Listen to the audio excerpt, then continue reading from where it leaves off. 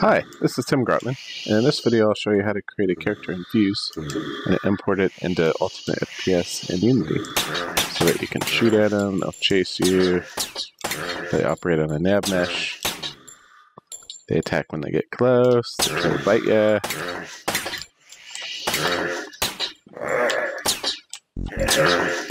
Uh-oh.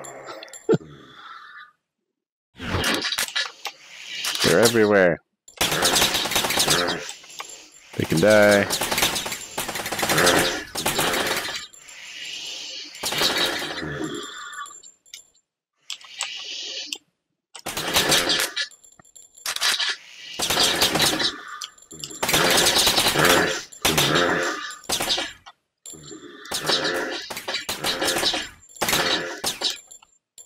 Alright, so first of all, let's see how this scene was set up. So I'm going to start with a new scene. With a blank scene, we're going to use File, Save As, and we'll save the scene to our demo scenes. And this will just replace the navigation scene that we're going to create. Okay, now we have our main camera and directional light. If I use the Fuse menu, we'll set up the Nav Mesh demo.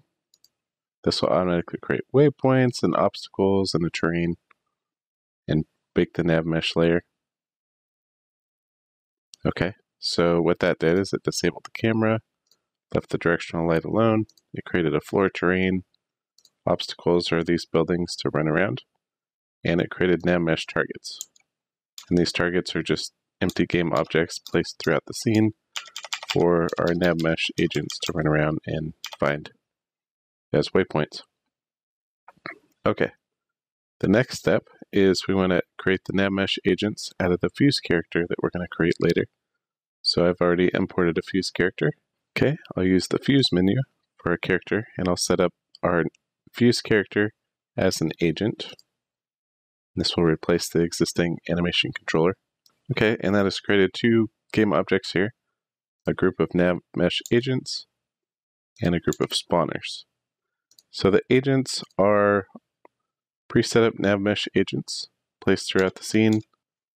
Okay, our NavMesh agents are disabled by default because the spawners are going to spawn these agents.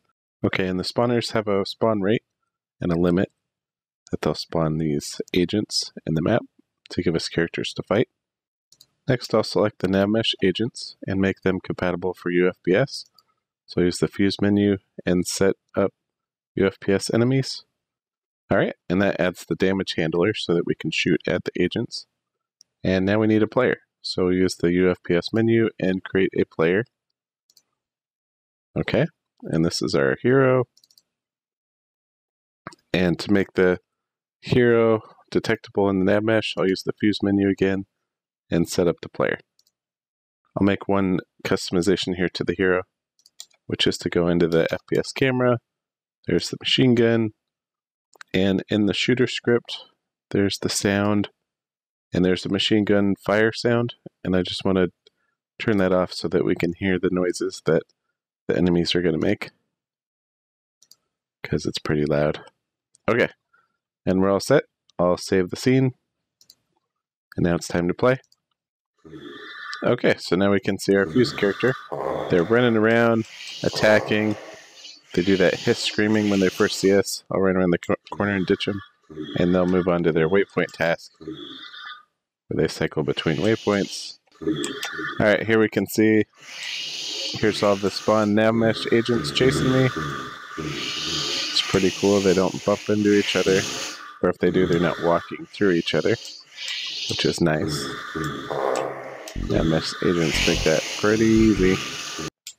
The Fuse character is using the scary animation pack. So they've got their biting animation, their running, walking, crawling animations. So I can, there's this walking animation, hit animation, crawling animation. There's their neck, neck bite. When he's crawling. Ah, he bit me. Okay, so he screams when he first sees me, and if I run around the corner, he'll scream again with a different sound. And of course, he has his death animation. Alright, so let's see how to create these characters in Fuse and get them into Unity. Okay, so we're going to be creating a character in Fuse. Fuse is part of the Creative Cloud from Adobe. And before we make a character, it's good to have a reference image. So we're going to make this short little guy with a big head, different colored eyes, purple shirt, pants, and tan shoes. In Fuse, the first thing you want to do is assemble a character. We've only got one zombie available right now to pick from. If we right click the zombie head, we can say add matching parts. Now we can move along to the customize and we'll see if we can get this character to look like this character. Okay, so first of all, he's going to be shorter. So if we go to the torso, torso overall, we can use the slider to make him shorter. Okay, legs. Legs overall, shorter. Arms overall, shorter.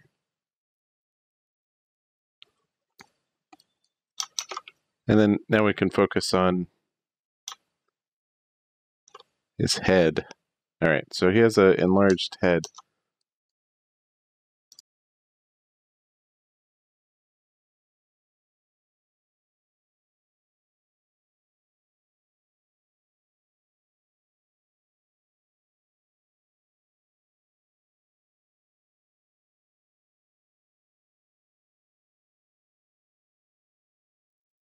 Click on the top of his head. There we go. He's kind of got a baby head going on. okay. Looking good so far. All right, now we can move on to clothing. So purple shirt. Probably a dress shirt. Yeah, that's about right. Okay, so for bottoms, need some jeans. Yeah, that'll work. Okay, and then for shoes, I guess that's okay. All right, now we can customize the colors. So first of all, his skin should be like a green. Okay, and now for his eyes. Okay, when it comes to teeth, uh, you can't really see the teeth unless we open the mouth. So if we go to customize, mouth open here.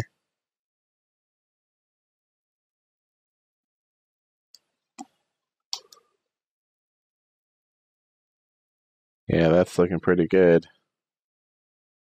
I don't think I need to customize that too much. So he's also got a purple shirt. So let's go for a purple shirt now.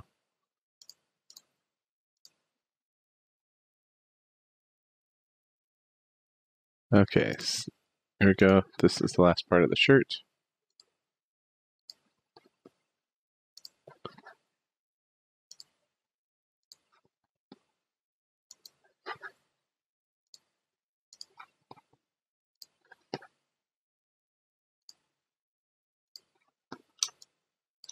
There we go. Purple shirt. Good. And now for blue pants. Here we go. Boot cut pant. That's better. Okay, here we go. A character that kind of looks like a reference image.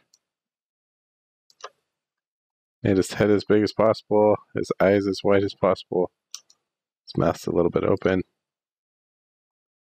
Should be ready for Ultimate FPS. Alright, so first thing I'm going to do, File, Save As. I'm going to save this as the diner short round head guy number two as a fuse model just so I have a backup because I can always go back into the recent section and get back to these presets. We can do two things here. We can save to Creative Cloud. This will save it for Photoshop if you want to do custom Photoshop work with the character. To get this character into Unity, we want to save to Mixamo so that we can animate the Fuse character. So I'll save to the Adobe Creative Cloud, and then I'll put it over in Mixamo. Okay, I'm using Chrome here.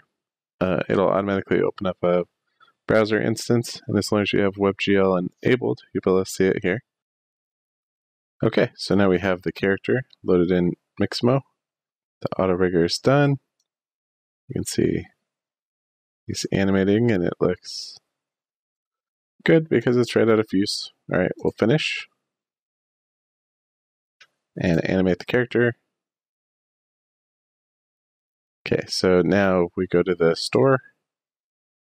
We'll pick the Scary Zombie Pack. Hit Customize Pack. I call it the Scary Zombie Pack. Okay, and then I go through the, the different states and make sure that it's in place. For walk, run needs to be in place, crawl in place.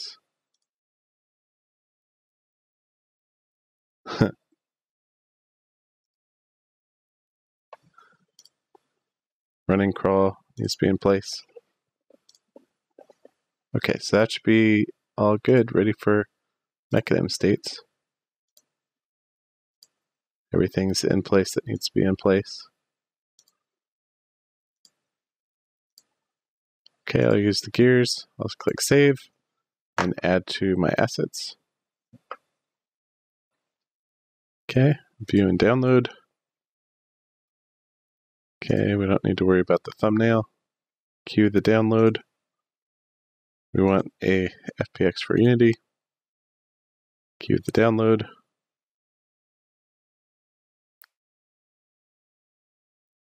Okay, now he's ready. Diner short roundhead number two and download. This will download the zip file of the animation pack. Okay, and you want to be downloading the animation pack. Okay, here we go. Here is the downloaded zip file of the animation pack. I'll just unpack it with 7-zip and do its own folder. And I'll copy this folder over to the demo. Okay, and paste this into the demo. Okay, and this will be all the FBX and animations that we need for the Scary Zombie pack inside of UFPS. And close it. Now if we switch over to Unity, okay, it's going to import the character. Okay, so this comes up, just say fix. That'll fix it to the normal map format. And if we look, here is our Diner Short Roundhead number two zombie. And let's just take a look at him in the scene.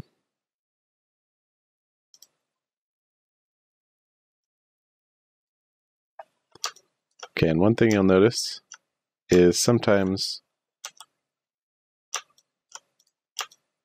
the normals can be inverted or it's got this transparent material on it. All we need to do to fix that is to go into his materials and switch them from transparent to opaque for each of these materials. There's our character, he's looking good. Okay, but he doesn't actually have to be in the scene yet. Earlier in the video, we created these agents. I'm going to delete the existing spawners and the existing agents. Okay, now we'll create a new agent and spawner from the Diner Show Roundhead number two. We'll spawn the Fuse character as an agent. So Fuse agent, it will automatically create the animator controller. All right, and now select the agents and use the fuse again and set it up for ultimate FPS. And what that did is if we look inside of the agent, inside of, there should be a bone called spine, and it's got a capsule collider on it, and it's got a custom damage handler. So let's hit play. Okay, and if we switch to the scene, we can pick one of these zombies here and follow it and we can see him moving around. So he encountered the hero player. He screams at him, gets close. He's doing some screaming because he can't get to him. He's got bored and he's doing his waypoints.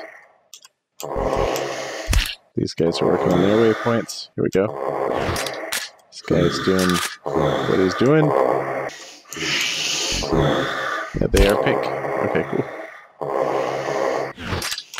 Alright, run for it.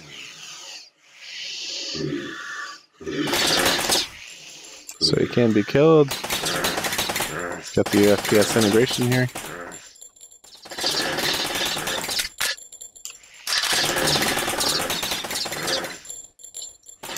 He can come from anywhere.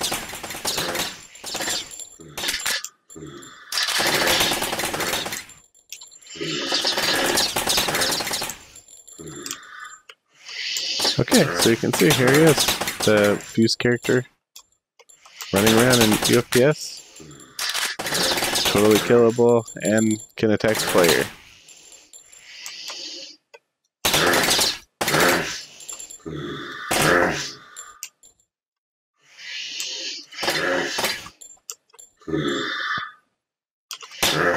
Doing this Mixamo Scary Zombie Pack AI animation.